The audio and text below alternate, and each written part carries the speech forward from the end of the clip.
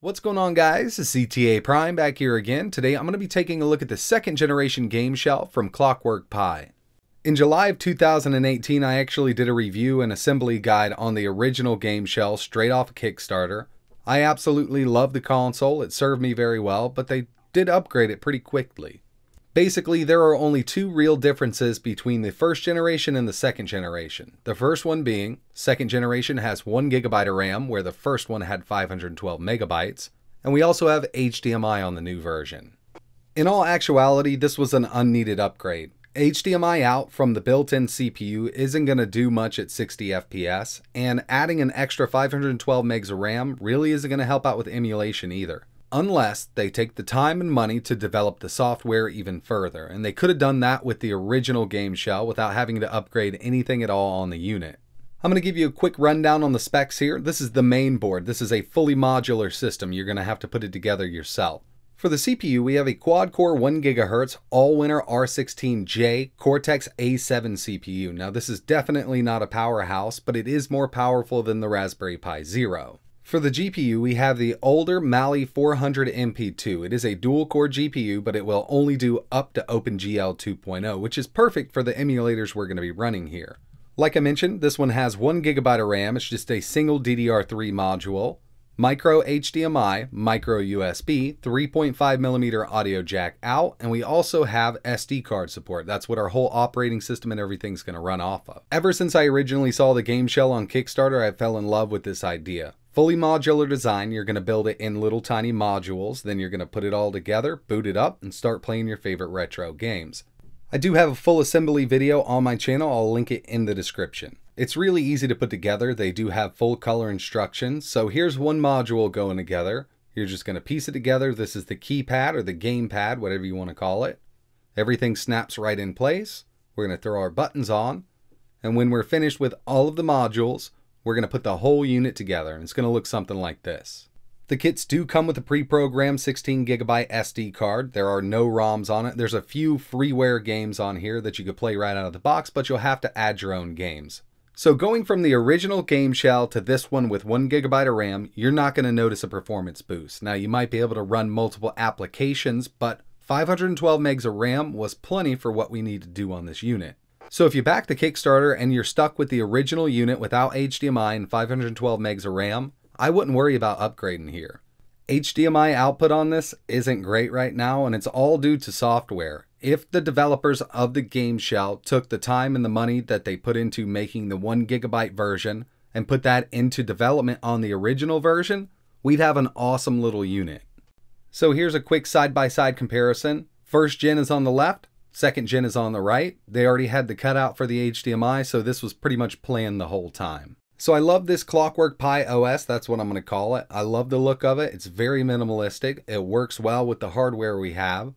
We have a few sections in here, as you can see. There's a few preloaded freeware games that you can play right out of the box.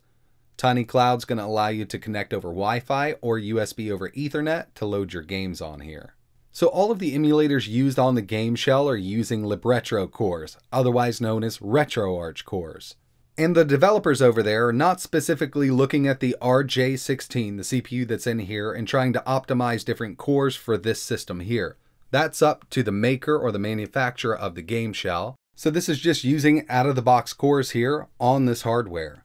And some of the stuff doesn't run well, like Game Boy Advanced or Genesis in my experience. There's a few cores we can test here, and I'm not going to test every single one of them on camera, but I've gone through the gamut, and I cannot get good performance out of Genesis or Game Boy Advance. But if you want to do some older MAME 2003 stuff, some FBA, some Neo Geo, SNES, PC Engine, Game Boy, Game Boy Color, um, SuperGrafx, it's going to work fine. There are literally thousands and thousands of retro games that are going to play at full speed on this unit, but you will run into some that just don't perform well. I'm going to get into a little bit of gameplay here. We're using the SNES 9X 2005 core, and this is Mega Man X2. I do have the FPS listed in the lower left hand corner. This is just using the built-in RetroArch FPS counter. We're at 60 here, and it does a pretty decent job, but it does take a couple seconds to update. I haven't noticed any major drops with SNES. Everything that I've tested works fairly well.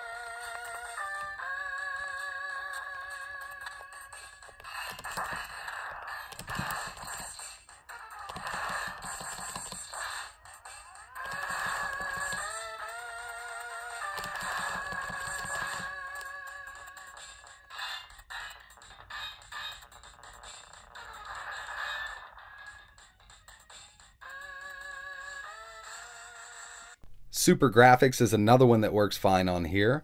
You'll see that FPS jump back up to 60.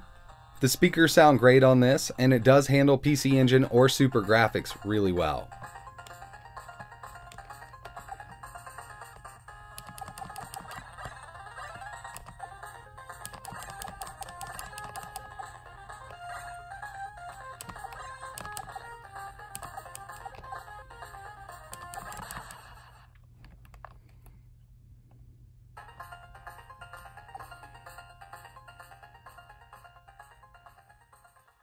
PCSX is also listed in the game section. This is a PS1 emulator. I do have frame skip turned on. This is Bloody Roar 2.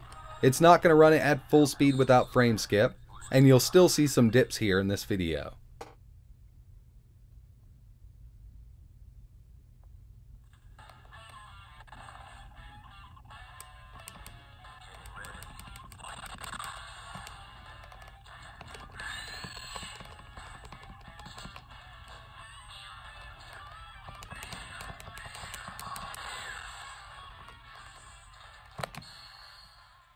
The built-in Game Boy Advance emulator is going to struggle with certain games. Like if you want to play Pokemon, it's going to be fine. It's not a fast-paced game, but here's uh, Sonic Advance, Sonic Advance 3, and you'll notice the frame rate will dip to around 54 in some sections, and the sound gets a little wonky. So that extra 512 megs of RAM that they added to the second version isn't going to help out with emulation much.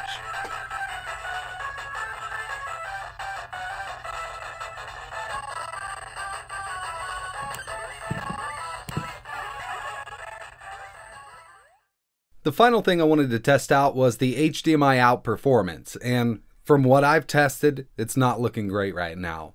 There are two GPU drivers that we can choose from, and I'm going to test both of them in this video in case anybody mentions that. We have the first one, I'm just going to go with Game Boy Advance, which doesn't perform well on the internal screen, so I don't think we're going to get great performance through HDMI out at a higher resolution. And HDMI out defaults to 720p. Unfortunately, I couldn't pick up sound over my Elgato game capture. I was just going to capture a real clean image. Instead, I had to film the screen. And as you can see, really low performance. I'm going to back out of here and swap the GPU driver.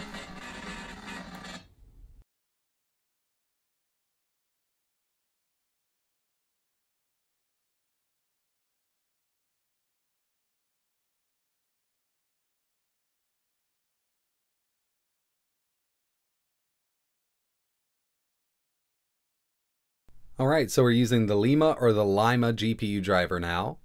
We're going to get right back into Game Boy Advance, same exact game.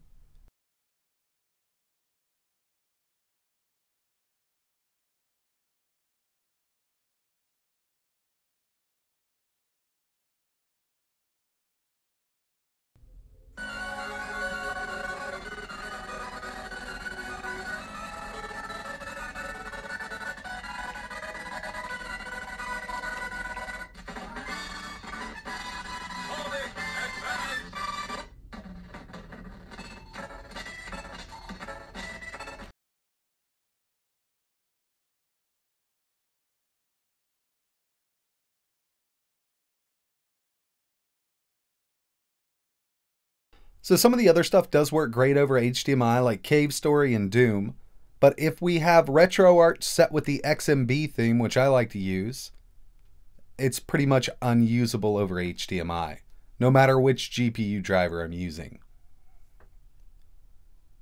It takes a few seconds to register an input, and that's about it. So in my opinion, I mean, HDMI on this was the last thing they needed to worry about. What they need to do is develop more for the unit. So if you're interested in upgrading your first generation game shell with 1GB of RAM and HDMI out, you can buy the board itself for $49 on their website, or you can buy a whole unit for $159. So like I mentioned, there are thousands and thousands of retro games that are going to play perfectly fine on the game shell. Game Boy Advance is not one of them, and in my experience, Sega Genesis is another one that's going to struggle. I know there's going to be some game shell owners out there that are going to dislike this video because it sounds like I'm knocking the game shell. I love the game shell. The problem is they released an upgraded version a few months after their Kickstarter and it's really not an upgrade. They need to focus their time and energy on software, not new hardware. That's all there is to it. Really appreciate you guys watching. If you're interested in learning more, I'm going to leave a link to the GameShell website. And like always, thanks for watching.